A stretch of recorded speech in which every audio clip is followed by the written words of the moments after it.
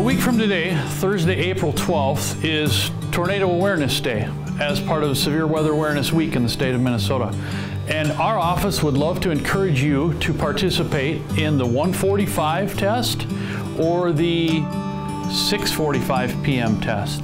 And and the idea behind this is is that whether you're at work, whether you're outside recreating, whether you're uh, at home, that that you exercise your plan for a tornado. And, and if you don't have a written plan, let's get one in our head and, and know what we're going to do. So at 1.45 p.m., we're going to sound the sirens for three minutes. And in Olmsted County, the schools and all county offices are going to do their tornado procedures. And then again at 6.45 p.m., we will set the sirens off again uh, for three minutes for people to practice that in their homes or if you're working at that time you can you can practice your tornado procedures there. Uh, it takes a short three minutes. It won't interrupt a whole lot. You'll still be able to get everything done you need to get done.